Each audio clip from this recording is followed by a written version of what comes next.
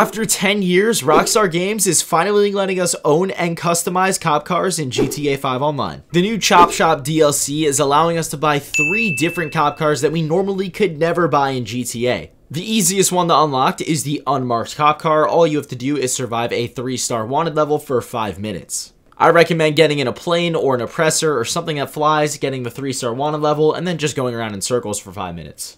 The actual normal police cruiser can be unlocked when you have a chop shop and you do a scope out mission. These are really simple, but you are going to have to buy a chop shop, which is going to cost you a little bit of money.